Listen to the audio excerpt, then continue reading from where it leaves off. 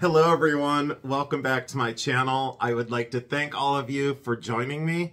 Um, for the new subscribers, thank you so much. And for the support of the past subscribers, I'm so incredibly grateful. So thank you all for giving me this opportunity. First things first, um, I did graduate school last Friday, and it was pretty difficult um, to last two weeks at this ripe old age, um, it was a challenge. And uh, sitting on my desk, um, here is the binder from my school, and look how much information I had to learn, and all my notes and all my tests. And um, the best part is in this orange folder, we all know that orange is my favorite color, um, is this awesome certificate from the auction school showing that I did graduate from auctioneer school. I go to take my auctioneer test um, probably in the middle part of January or in the middle part of February, hopefully January. So after that, I'll be a certified auctioneer, which I never thought I would do in my life, but here I am learning a new trade and uh, super exciting. Uh, and I feel like I left the class with uh, 10 new incredible friends and um, the teacher, Professor Mark, was uh, fantastic and shared a lot of personal experiences, which I'll eventually share some things with you um, down the road. Um, the desk is completely filled. Uh, first things first, in terms of a, a great big thank you, um, I received this box in the mail. Um, and this is the second time I videoed this today because the first time I had a little bit of a breakdown over this. An unexpected box and an unexpected gift. Um, her name is Debbie Copel. And I would like to get Debbie's information um, if uh, she'll allow me to give it out eventually. I would put it on my community tab. Debbie sent me um, a, a two-page letter, um, and the first thing that I noticed in the box was um, these um, hand crocheted or I guess I'm knitted, but um, amazing hand warmers. And with the size of my rings, they're, I can't wear normal gloves. they just don't work for this guy. And look at how cool these are. I got it in um, an off-white, um, but my two favorite colors are black and charcoal gray, or in the gray family. And she made me a matched pair of these incredible gray ones. And I'll tell you what, so incredibly comfortable and I love them. Um, I'm going to absolutely wear them. And I love them because I can still wear my rings and not have a problem um, because, like I said, gloves don't fit this guy. So, Debbie, thank you so much. And she sent me two stones. One's a Herkimer diamond from New York, a rock crystal, and a beautiful banded agate that's in the bottom of this box um, a beautiful banded agate that I would like to make into a pendant or a ring. So um, thank, thank you so much, Debbie. Um, but the one that got me that uh, I had to re-record was uh, the most unexpected. And, and it was this. And let me put this down here to get this out of my way. Um, it was this. It's, it's a purse um, that Debbie made me, custom-made purse of the Bull Terrier Zito that I used to own. And um, uh, Tanya, I, I, I always mention Tanya because I'm addicted to Tanya. She's addicted to jewelry. So um, my affection for Tanya is very apparent. Um, uh, but if you're not familiar with her, please go over to her channel. You'll be absolutely amazed. Um, anyways, I saw Debbie on Tanya's channel and um, would always say hello to her and would always greet her. But she made Tanya a large elephant um, purse, like a, a, big, great big elephant purse, and I fell in love with it. Like I fell madly in love with it, and so I had said that I would love to have one of Debbie's originals. And um, lo and behold, um, Tanya, who is sneaky, but in a in the best way possible, Tanya asked me for photographs of Zito, and she said that they were for um, her daughter Tasha, so she could show Tasha what my dog looked like. Anyways, Tanya, um, Debbie had asked for the photos of Zito, and um, and Tanya supplied her with those, and she made this purse that looks exactly like what Zito looked like. Uh, and when I received it and I opened the box, the emotion that I had, um, unbelievable because as friend mail from um, someone who's a complete stranger, um, but not anymore, someone who I consider a very dear friend. Um, and that's happening with most of my viewers. I feel um, very um, attached to certain people. Um, so Debbie, you really, really, really touched my heart and you changed my day that day. I've had some rough days lately um, and uh, some emotional days, but she constructed this completely by hand. It looks exactly like Zito because he had a crooked ear. Um, he, he had an ear that didn't stand up because uh, Bull Terrier's ears are supposed to stand up and one of his ears folded forward like this. And um, then she signed it like, you know, Weiss, um, I'm, I'm not sorry, uh, I'm sorry, not Weiss, um, I'm drawing blank. Um, um, the Mohair Bears uh, from Germany, but um, they have a um, Steiff. They have a tag in the ear, and um, Debbie puts a tag with leather markings in uh, her creation's ears, and she used vintage clip-on earrings for the eyes, and um, crocheted and um, accentuated the nose. It looks exactly like Zito's nose. And then vintage buttons where you can open the purse to put things in. And look at how cute the tail is. I mean, this thing is just the cutest thing that I've ever seen in my entire life. I love it so incredibly much. And Debbie, you um, really did touch me um, right in my heart, right where um, my soul is. And um, from a perfect stranger to um, me, um, you are a dear friend, and uh, Debbie, I thank you so much. Um, just incredible. I could talk about that forever. First friend mail and it blew my mind. Um, I am just so incredibly grateful. On that note, I want to give a special shout out to Gigi. You are um, a rock star. You're a bright light on a dark sky. If you guys haven't been to Gigi's channel, um, it's Gigi's Gems and Jewels. And I had to write that down so I would remember it. Gigi's Gems and Jewels is her channel. And um, I know that you will find it um, refreshing, honest, and um, it's it's just perfection. So Gigi, I I love you. I love all of my viewers and all of my supporters. Um, one that stuck out again last week just because the message was so um, um, poignant because the day that I was having Susan Anthony, I, I don't really know much of you, but Susan, um, thank you so much. And Tamara. Um, Tamara, I, I don't want to ruin the magic that we share, but um, I just want you to know that um, I truly do adore you very much and I'm with you at all times. Um, and I truly mean that. Um, you have not only become um, um a viewer, but um, a dear friend, and um, I love you. I absolutely love you. So thank you for finding me, and thank you for your constant support. To all of my viewers and all of my subscribers, I am literally nothing without you. There wouldn't be a reason for me to do this. So again, thank you for touching my life and um, leaving an impression on me and allowing me to share. I um, love you. I absolutely love you.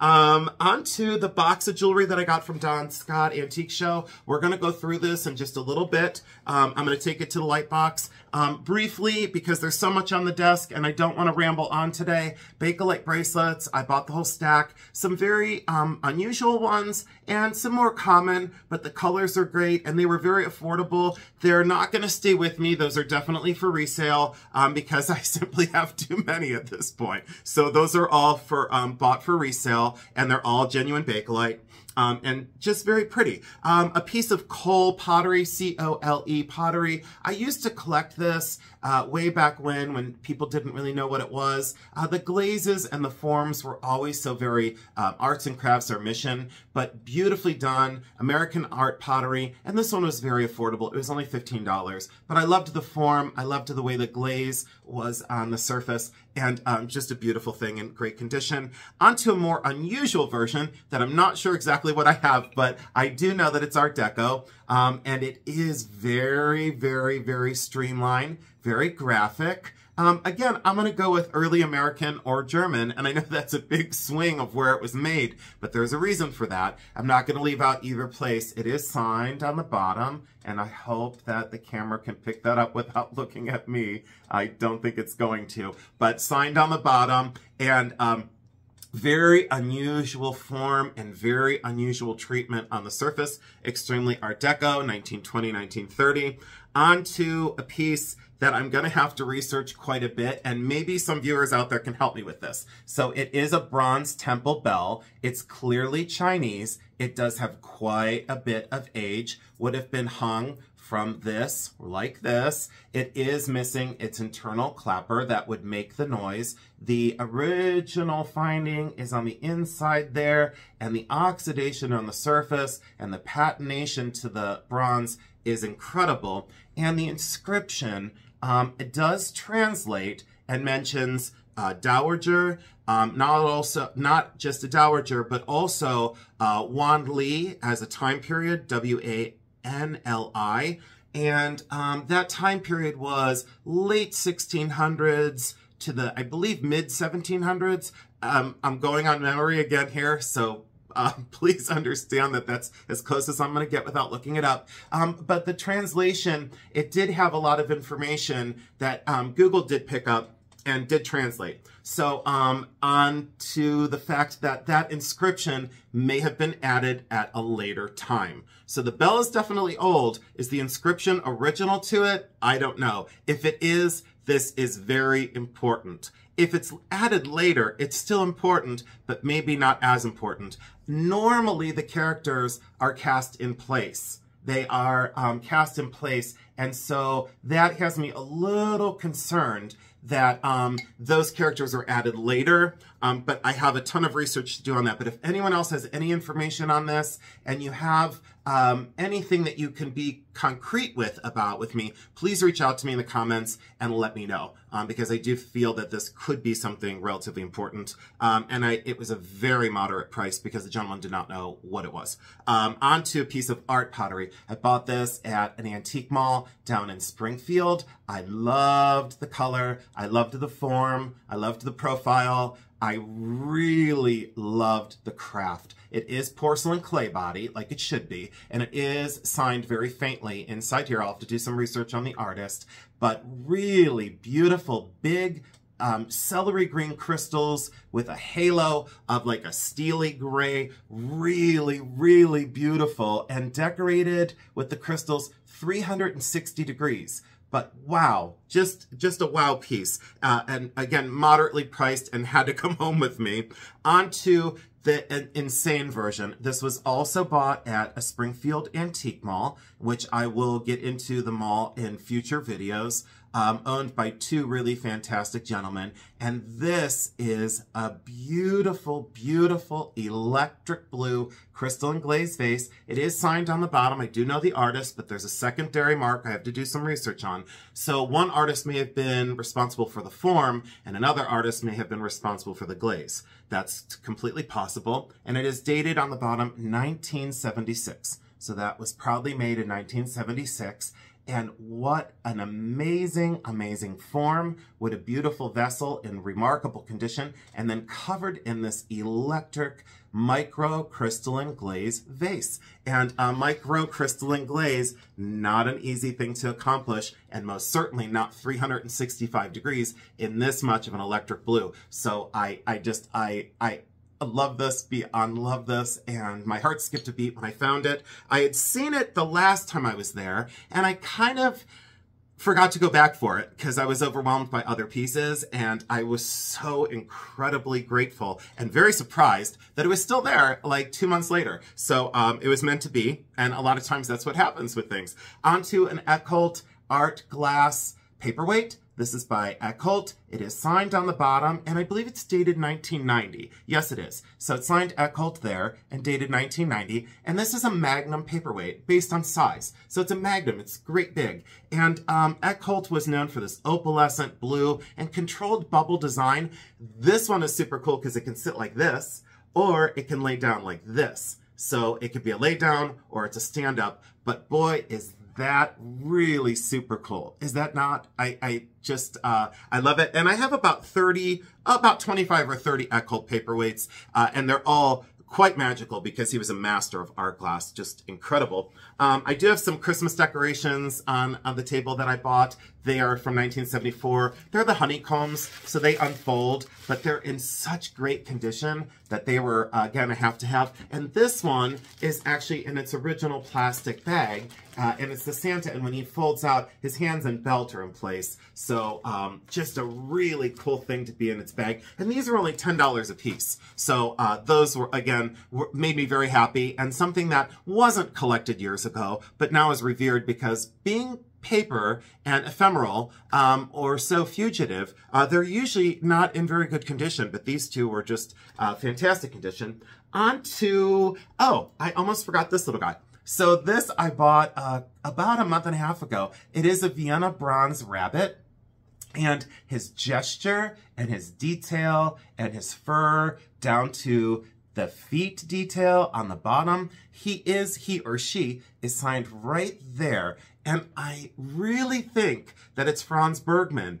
It's difficult to make out the mark. It is reminiscent of Bergmann's mark, but this is definitely 1900. 1900, 1905. It's not a contemporary recast. Um, beautiful execution on the fur and the eyes. Look at the eyes and the ears and the fact that that rabbit is totally ready to take off. that rabbit is ready to run. So I really loved the face. I really loved the gesture, and I was most certainly taken by the detail in the fur.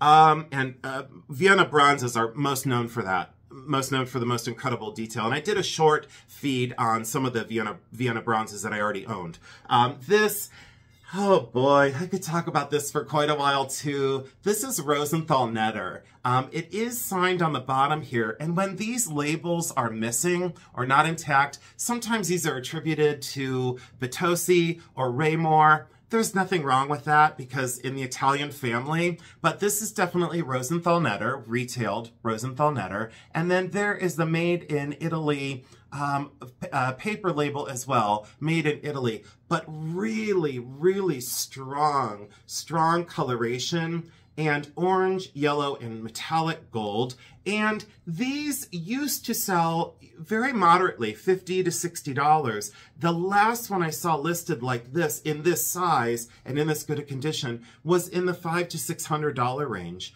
I think that they're gonna continue to go up because there weren't that many produced, and the ones that were produced were kind of forgotten about. So as they're rediscovered, I do think the price is going to maintain and probably go up a little bit. Um, but again, uh, I can never guarantee anything in this business because uh, I've seen some wild things happening, but beautifully executed and uh, such a bold a, a, nod to Art Deco and a nod to minimalist at its best with decoration. But uh, I, I, I, loved it and uh, I was quite astounded by that. And it wasn't very expensive. I think I paid 45 or $50 for it. Uh, and again, I would think uh, between four and 600 would be a fair going rate for it. So there was money to be made on that.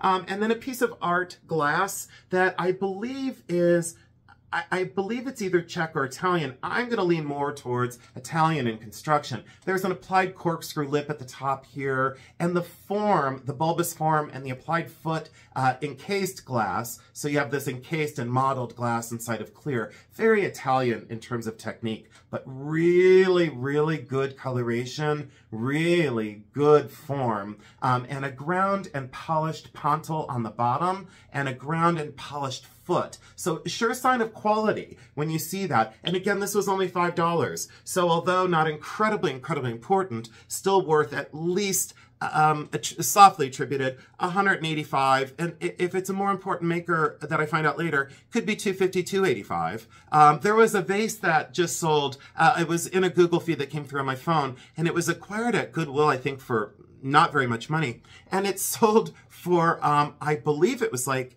uh, several hundred thousand dollars. And it was Italian, um, and I forget who the maker was on it because I really wasn't paying attention. It was early morning before my coffee, so I'll have to revisit that on Google and uh, be sure to pay attention for sure, but that just happened. Onto another piece of mid-century art glass. At first I thought this was contemporary, made within the last maybe 10, you know, 5 or 10 years. It is not. It's absolutely mid-century modern. It's a bottle form, which is very, very, very 50s, 60s.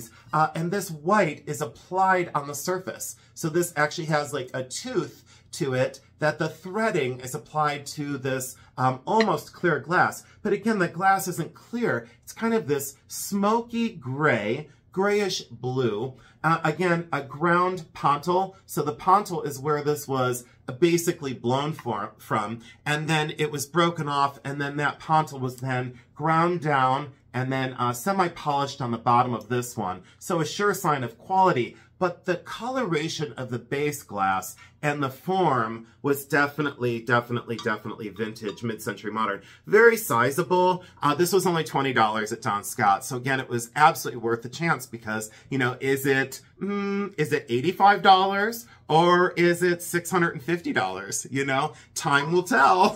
so that was a moneymaker and just a really beautiful and stunning form. Um, and then I felt since it was white and gray, it would fit in any decor quite perfectly. So there was that. And then uh, the last thing before I hightail it over to the light box, before I lose every single viewer, because it takes me forever to start a video anymore. Um, you asked for though. You said you missed me, so here I am. Uh, these are celluloid bangles, and I did add to the stack. So from Don Scott was this one, which is cream and uh, teal rhinestones.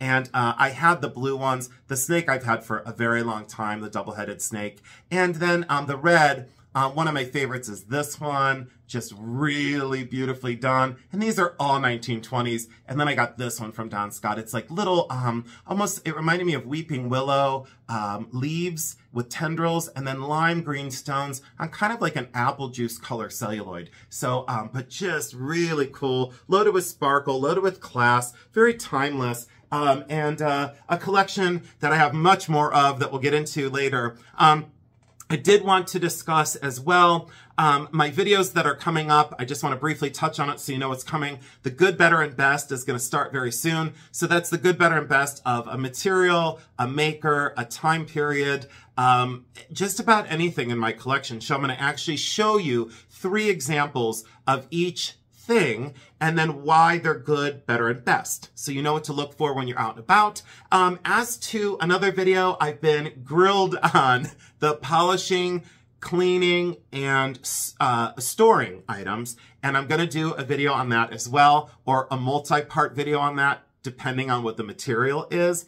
And then the last string of videos that is going to take me a long time to get through, and it might be a lifetime of videos because I have a lot to say. Um, it's going to be the buying guides or the 101s to certain things. And I made a little list. Materials, ages, makers, whether it be companies or individuals, and then designs or aesthetics that went with certain time periods. So again, those will be very simplified videos. So we'll give you the visual information that you need to go out when you're at an antique mall, an auction, um, a thrift store, uh, a favorite shop of yours, a resale shop, um, a flea market, garage sale, wherever you are, those guides should help you um, in applying your information rather than just pulling information from online. It, it will be a hands-on, this is what to look for. And it's been my guide um, to being very successful in this business. So I'm going to pause you for right now before I completely lose every single viewer. Thank you so much for your patience with me. The video starts now at 23 minutes. So I'll be right back. Give me one second. I'm going to pause this and I hope I don't erase this like I did the first time. Hold on one second, okay? I'll be right back.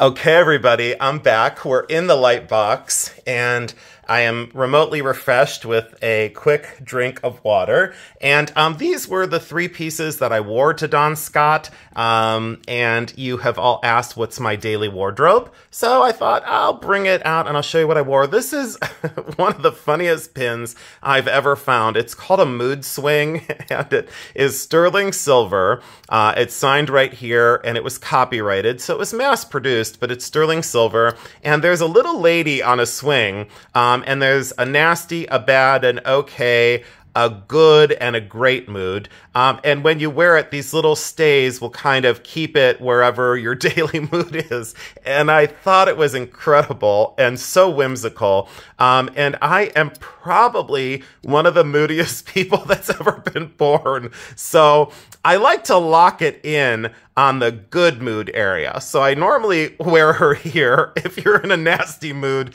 I recommend you just stay home.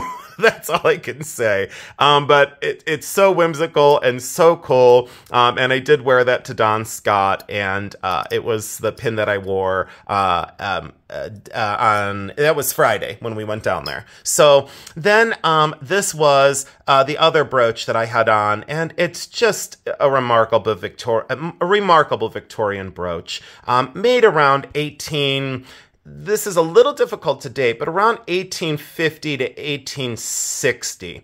Um, these are rock crystal, um, and they have the central culet, which would technically make them black dot, um, but they are rock crystal. So you can't say black dot paste because they're not paste stones. They're rock crystal. So there is a difference there. Um, all closed back set. So there is gold on the back and there is silver on the front and then a gold star in the center. But look at the light that these stones produce and um, just a beautiful thing. And when I bought this years ago, uh, it was sold to me as costume and as a rhinestone brooch, and I believe it was maybe $15 or $18. And again, today, because the size of the stones, I wouldn't sell this for less than I I wouldn't I wouldn't feel comfortable selling less than 600. So I would say, you know, on um, a very generous day, I might go 550, but uh, I most certainly would regret selling this for anything less than $600.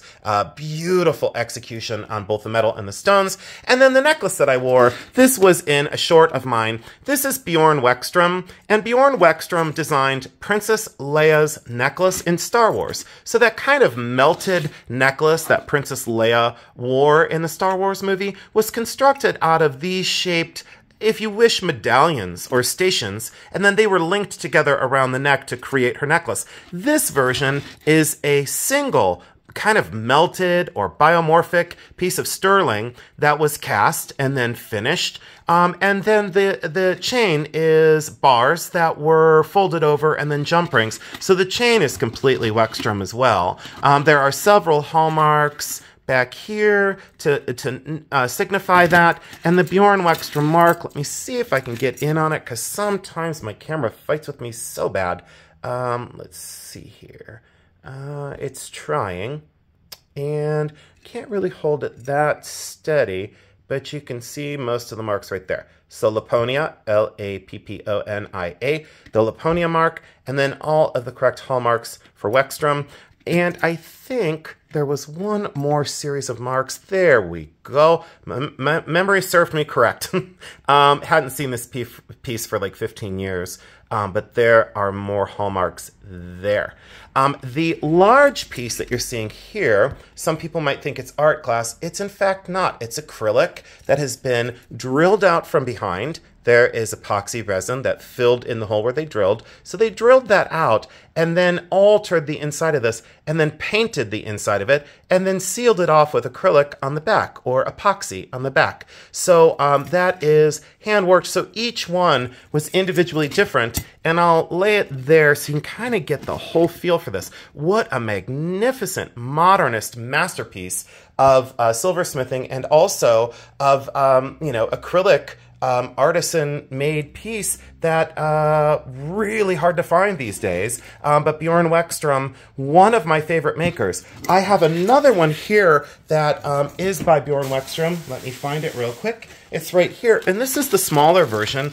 I found this um, just very recently, maybe uh, six months, eight months ago, um, but this is Bjorn Weckström as well. A very small acrylic inlay there, sterling silver. Again, same kind of chain, um, same kind of construction, signed on the clasp, and then this kind of um, very Viking-esque shaped medallion. Let me see if I can zoom in on that again. Nope, it's still fighting with me. Uh, nope. It, it, we're not going to be able to read it, but again, by Bjorn Weckström. and I don't know, my camera's fighting with me today, and it's winning. um, so the sterling silver construction, and then again this acrylic inset with purple inset from behind, um, and really magical uh, talisman in a way, very protective talisman, and uh, a much more feminine size, a much more female version because it is so much smaller than the other one, um, and much more graceful. So um, some of these have titles like Spaceman, Thor's Hammer, things like that. Uh, so each one has a, um, a name. I just am not familiar enough with uh, those two, what they would have been called. Um, two other pieces that were, sorry, these things are still bagged up with tags on them, but um, this was um, uh, two silver spoons. The person didn't think that they were silver. Let me zoom out a little tiny bit for you um, to get the whole spoon in the frame. There we go. And I don't know what's going on with the lighting, but I'm doing my best. This was $3. The windmill moves. And then there's a portrait in the center. They just missed the hallmark. And I think on this one, let me see if I can find it real quick. It's very hidden. Um, and maybe uh, yeah, here it is, right inside the bowl, and they missed it because of the oxidation definitely hid that hallmark from view. So uh, $3, either sterling or 800 silver at this point, and I would probably guess in the 800 silver, um, um, shall you say, content. And then on this one, this was the Viking ships and a very fancy bowl with some pierce work, possibly a bonbon spoon. You know, um, are people going to fight with me on what it was used for? Probably will. so um, I'll just say a fancy serving spoon 800 silver for sure. The Viking ship really well detailed. But again, a steal for three bucks. You know, just in metal alone, these are probably between 25 and 30 dollars. Well, probably 25 at least uh, dollars just in silver. Um, but really beautiful. And I love the oxidation. So those were a must. And then from the same place, let me put these back. From the same place, I got this uh, beautiful Victorian English, likely Birmingham, um, but again, not 100% sure because there's no hallmarks uh, signifying where it came from. Applied cannonball border. So that's what that's called. And then two different colors of gold. We've got green gold in the fern leaves, and then this rose gold for like the flower blossoms in between these kind of fern-shaped leaves. So mixed metals. You have sterling silver base, and then um, definitely pure gold or real gold, rose gold and green gold application in this. And it is a locket. The back is in beautiful condition. And then the bail is original. And then you open it up here, and on the inside, it's missing the fitter ring here. So there may have been hair work underneath glass because that's a pretty deep compartment for just a photograph. And then the fitter ring is still here. So this little ring does lift out, and uh, there would have been either, you know, a sheet of mica or celluloid or glass that would have been over probably a photograph on that side. So um, just remarkable in terms of its craft and design. And it's a very large version. This was only $25. So, you know, again, could I get 125, 165? Absolutely. Could I try for 185? I most certainly can. So, um, beautifully executed, and again, you know, Victorian and purist uh, for the Victorian collector. So that was a have to have as well. Um, onto a strand of beads that I bought at the antique mall. Again, are they incredibly, incredibly important? Nope. But were they really awesome and uh, large that I could make a beaded necklace and sell it? Sure. They are turquoise. Um, and they are Chinese. These are not American turquoise. They are from China. And you can tell by the very oversized black matrix, especially in this one. Um, Chinese turquoise has this tendency, or I should say most of it, has this tendency to have such an exaggerated matrix that then accentuates the stones. Are these color treated? More than likely, yes. Um, am I 100% sure on that?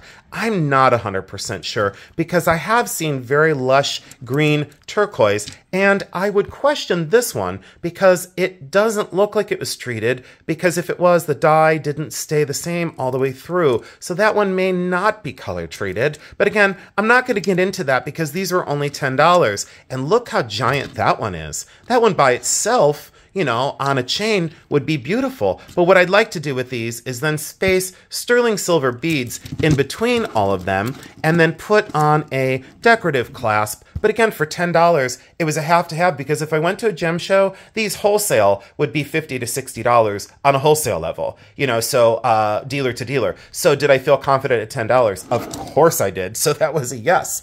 Um, in the video, I showed this bell uh, and I wanted to give a close up. So if you can give me any information um, at all on age, evaluation, or what exactly this says. So I know there are Chinese experts out there on um, in in the world of YouTube um, and in terms of collectors. Let me zoom out a little bit more so we can get the whole bell in so you can see the whole form. We'll go right there. And you can see the oxidation and the patination, and you can see that this is very, very old. That surface is not forced. Now, I don't know if the engraving was on originally or was that added later. I just am not 100% sure. On this side, I believe it says something about the fourth day of April in the year of Wan Li. W A N L I. I believe that's what this side says. This side has been much more difficult to translate for me, and it says something about the Dowager. Um, and I'm not exactly sure what it says, but if anyone else can help me, I would be forever grateful. Thank you so much. Leave it in the comments below, and I most certainly would be able to respond. But look at the surface and the oxidation. I believe that this is a very, very important bell from a temple, a sacred object that definitely needs to find the right home. Um, and I'm willing to do that. I'm, I'm willing to find its permanent home because uh, it definitely needs to be revered um, and it needs to be um, saved for sure. So there's that as well. So if you can give me any information, I'd be grateful. The necklace that I wore in the video uh, when the camera was up was this. This chain is not original to this, so please ignore the chain, but I loved the chain for this. This pendant is by Tapio, Tapio Wirkkala. Um, it's from the 1970s, and it's the most large version I've seen. I saw one on eBay a few years ago, and I believe it sold for around $4,500. I have the matching earrings to this as well. Um, it is sterling silver, and then all of the identification marks are on the top here. Let me zoom in for you so you can see all the goodness of the hallmarks. Look how many hallmarks. Not only the origin, but the date letter, um, the origin, the metal content, um, the artisan mark, and then the 925 mark at the top. And again, um, authentic, old, and look at the way it moves. It bends the light, it moves the light, very hypnotic, and each disc is independent and moves on its own. And I wish I could get a better video of this and better video of the movement, but you can see what this does. And the earrings are the same. They're just about this large. So where this um, medium-sized ring is, the earrings are only about that large and on French wires. But I bought the set years ago in Cleveland at a gallery for $300. Um, and of course, you know, I wasn't exactly sure what I was looking at, but I knew I was in the presence of greatness. I knew that I was uh, in the presence of something really remarkable. So, as a silversmith, this really, really, really stuck out to me as something that I wanted and had to have. And then I just added this disc chain just because I felt it mimicked the movement of the central pendant as well. So, there's that. And then let me get into the things that I bought for resale. So, these are Miriam Haskell earrings. They would be considered A line. Yes, this pearl is off here with the little flower head. I do have it so it was included. They didn't know what these were, but they are proudly marked Miriam Haskell. They are both rhinestone and faux pearl, very large, very A-line, um, the best of Haskell that you can find um, in earrings, and those were a moderate, I believe, 20 or $28. They weren't much, uh, but again, once I wire that back in place, uh, it's going to be a beautiful pair of earrings. So there was those. And then in the same line of costume, I don't normally steer towards costume right now. There are the clip earrings, and of course, we would know by the back and the way they're constructed that they are D&E. Um, when people throw terms around of D&E, Juliana, you know, those kind of things, we have to be slightly more careful um, because this is definitely a Juliana necklace produced by D&E, but D&E did produce things for, I believe it was Weiss and Kramer um, and different companies. So you can't always say in construction that something is Juliana, but definitely this um, is for sure Juliana. Unfortunately, the red stone in the earring has gone a little bit dark, so that needs to be addressed. And then one of the rhinestones, yeah, that one right there, has gone a little gray in the necklace, but what an incredible choker. And this was very moderately priced, but this is a telltale Juliana construction. So whenever you see this, and you see it as a bracelet or a necklace, that is definitely a Juliana construction, 100%. And we all know that now um, in the business. So um, very beautifully done. And again, it was so moderately priced um, and just need to address that. And I'll get into repairs on things eventually, uh, but I wanted to show that. And then this, um, this was something that again, probably most people would just walk right by, not even worry about. This was in one box and this was in another box. So these two things were in two separate boxes. Everything was a dollar. So immediately, as carved wood, I went crazy for this either two dogs or two bears um, kissing each other. And um, with the you know pinback, that's 1940s. And you can see right here is a remnant of an, an elastic cord or an elastic thread. And this door would have been on elastic thread. And then this Bakelite hasp over here would then move and swing freely. So this door would then hinge open as you were wearing it and be spring loaded so then it would just go right back. So you could open the door to show someone the two animals inside kissing each other, a moment of affection, and then the door would close. What a whimsical, whimsical, fun, beautiful brooch. And I didn't pay $2. I talked her into just giving me the door so I could put it back together. So it was only a dollar. And again, that one, you know, online, I could get 85 or 95, but I wouldn't want to sell it because it just brings me so much happiness. So that wooden pin made me very happy. And then um, I'm still scrounging. Oh, this is beautiful. Not necessarily important, but look at the stones in this one. Sterling silver, and I believe this was 10 or $12, but really, really well done. Look at the stones. Citrine, amethyst, blue topaz, peridot, and garnet, um, but just really well constructed. Rhodium finished sterling double locking mechanism, and totally right. So that was a yes because, again, the color, the saturation of the stones, the quality, everything said yes to me, and the price was a for sure. Um, didn't even really need to think about it.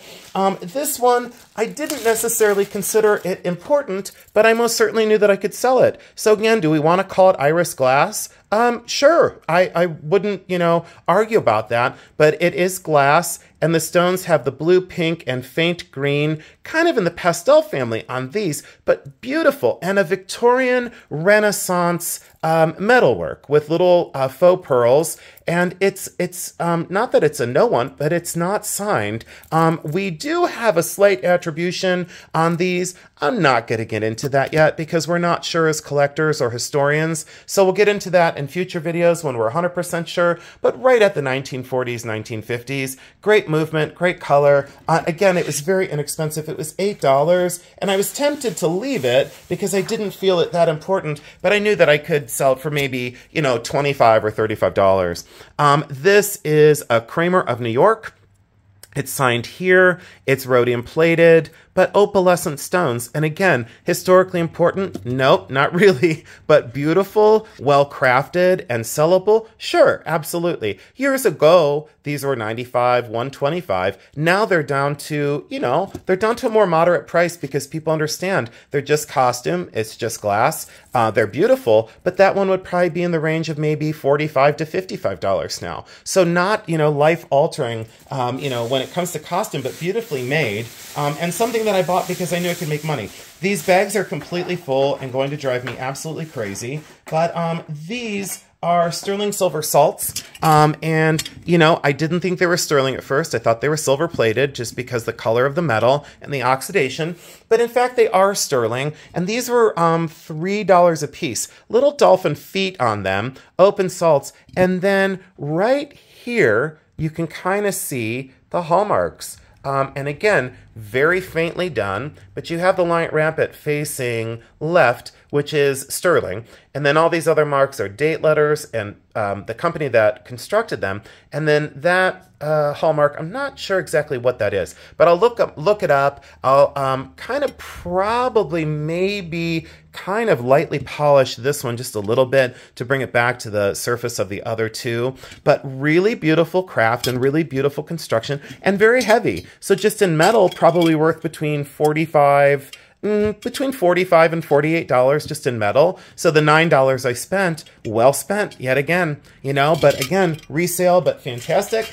And uh, at Don Scott. And then let me get into, oh, um, oh, the ones that I really love. Um, I'm holding out on you here to keep you until the end of the video. Video, 45 minutes in, so I want to kind of you know get this done. Uh, this is a Bohemian garnet brooch. Again, Victorian era, so right around 1895 to 1915. Again, the pin mechanism and the clasp over here, you can tell that this is original as a tube hinge, no problem there. The riveted construction completely correct for that time period, so each layer is riveted together. This definitely looks as a replacement. So this fold over, more indicative of 19, I believe that's 1910 or 1915, again from my memory, but we'll get into class mechanisms eventually and I'll clarify all that information for you. But definitely Bohemian rose cut garnets and really, really good color and um, remarkable that they were all still there. So an oversized star, and this was only $80. So that was a have to have because garnets have really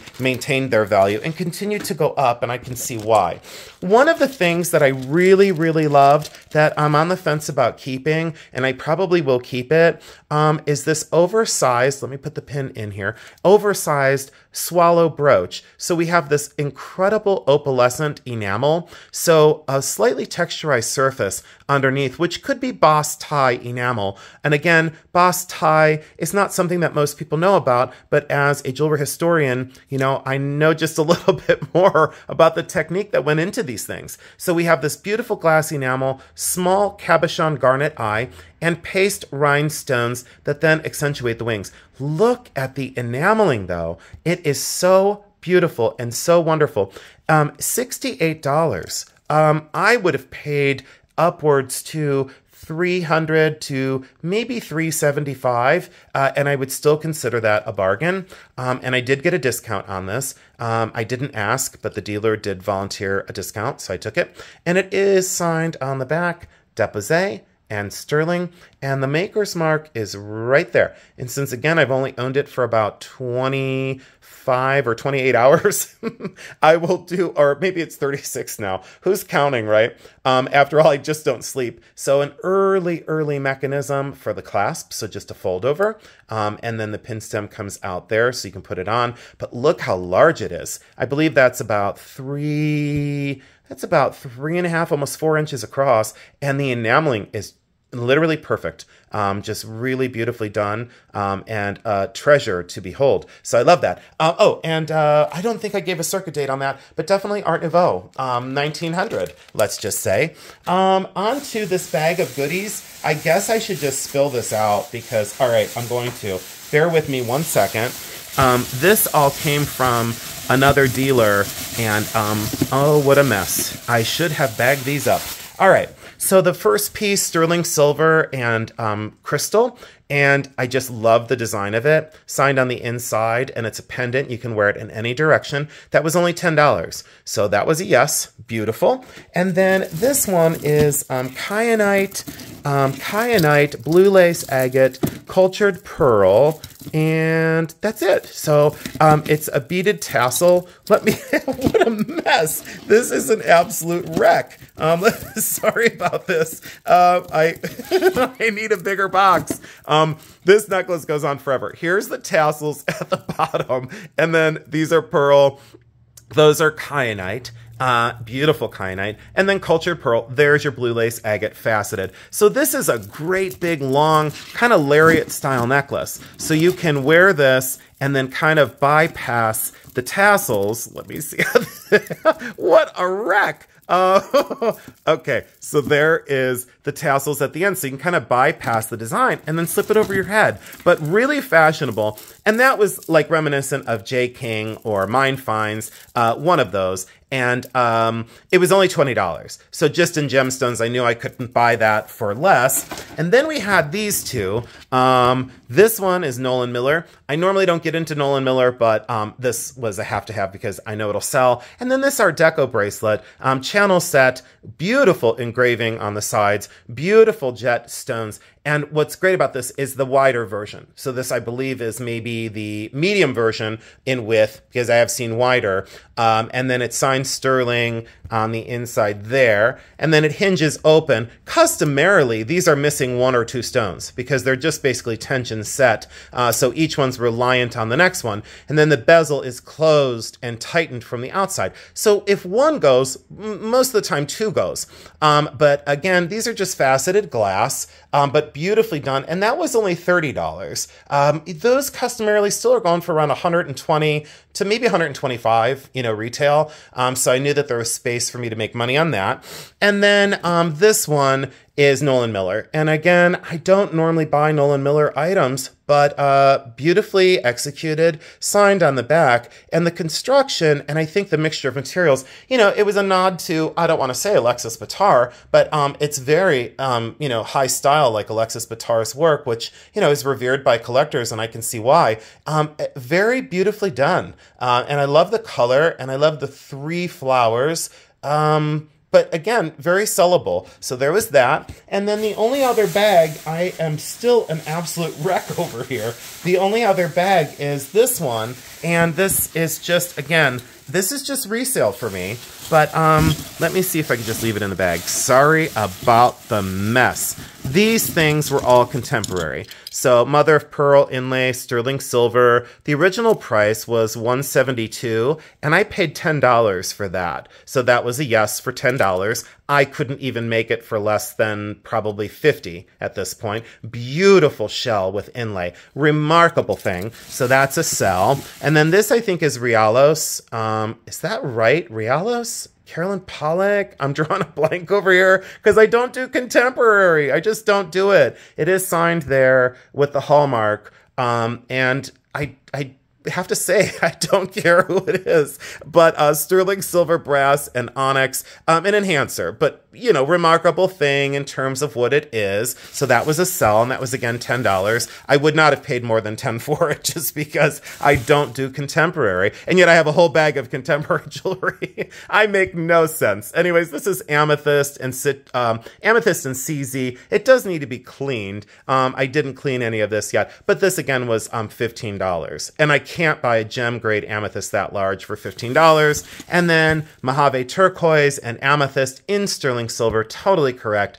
Artisan signed, enhancer, beautiful stones, beautiful execution. And again, that was $8. So for $8, yes, you know, um, you know, is it an investment piece? No, but it was still very sellable. This one is black spinel. Um, and I loved the three stone design. Very, very, very beautiful stones. Needs to be cleaned, but again, just right out of the show. And that was $10, fully articulated. This one is an amethyst um, and crystal. Uh, again, this was $8. Totally correct for silver. I will test everything, but I can tell by the solder eutectics that this is not plated, it's genuine. And a checkerboard cut amethyst of really deep saturation. Um, this one was unusual enough that I like the mixture of stones. You know, I'm a little bit difficult when it comes to putting stones together, but these made sense. Um, the craft was good. Um, it is fully hallmarked, a pendant and a pin, so versatile wear. So that was definitely something that I knew a retail customer would enjoy. This one, mother of pearl, and then um, tourmaline, green, pink, and yellow tourmaline stones on a mother of pearl heart, sterling silver frame. Really beautiful thing.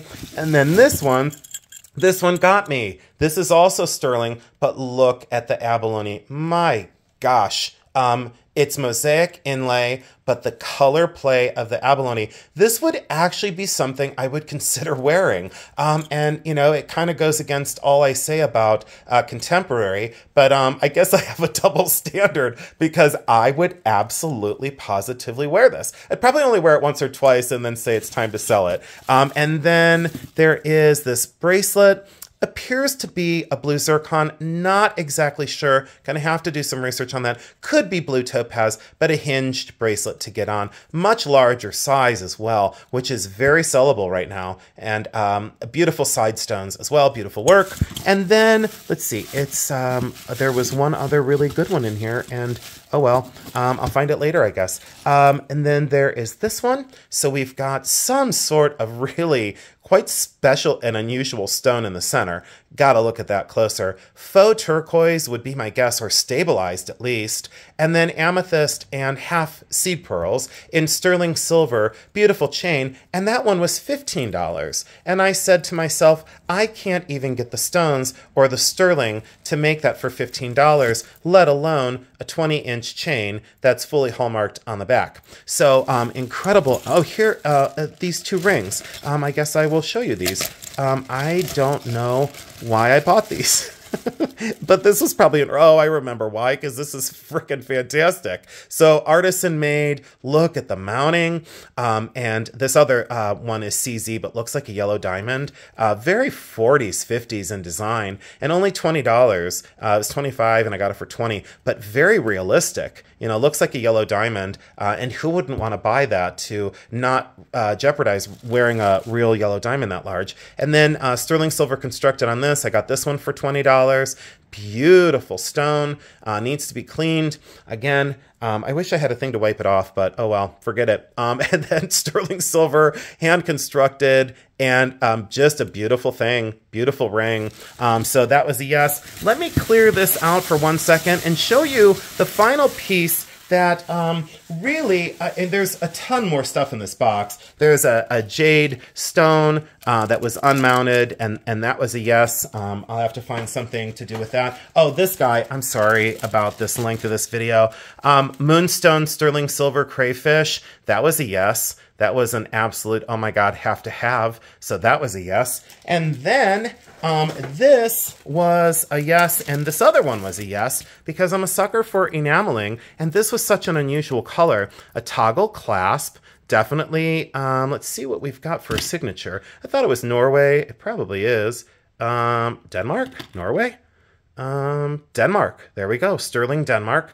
Um, and look at the chartreuse enamel leaves. Um, beautiful condition too. I didn't find anything wrong with this. And usually there's some sort of chip or nasty wear to uh, these enameled pieces because there's no counter enamel on these. And this one was perfect. I found no imperfections in the enamel. And I mean, is that dirt? Yeah, that's just gummy dirt. That's just, um, that's I don't know, disgusting is what that is. and then um, I'll, I'll, get this all cleaned up eventually. But beautiful enameling, absolutely beautiful. I guess I should clean the things before I come on. And then the grand finale, since you all have waited with me, I have two more to show, and then we're to call it a day. I think this is the most this is the longest video I've ever done. This is Marius Hammer. And uh, Marius Hammer was a turn of the century producer. Um, it is fully marked let me open this up right here. It is fully hallmarked right there. So there is the M with the hammer. That is Maris, M-A-R-I-I-U-S or M-A-R-I-S.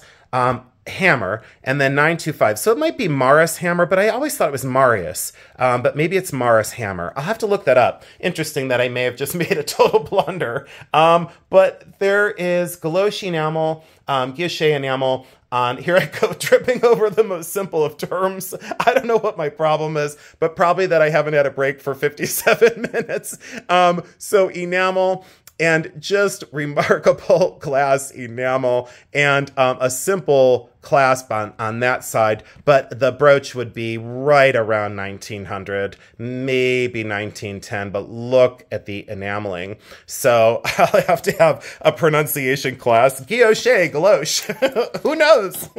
I don't know what my problem is. And then this fitted box. I love making fun of myself. Um, there's this fitted box, and inside one of the most remarkable bracelets. Um, it is 14 and 18 karat gold. Um, it the bracelets from around 18. This is tough. 1865 to 1870. Um, it does have its marks in the bottom there, and then it also has its safety, and it is a larger wrist size, so it does open. Let's try and open this. I can't believe I'm still stuck on the fact that I tripped over the most easy of enameling terms.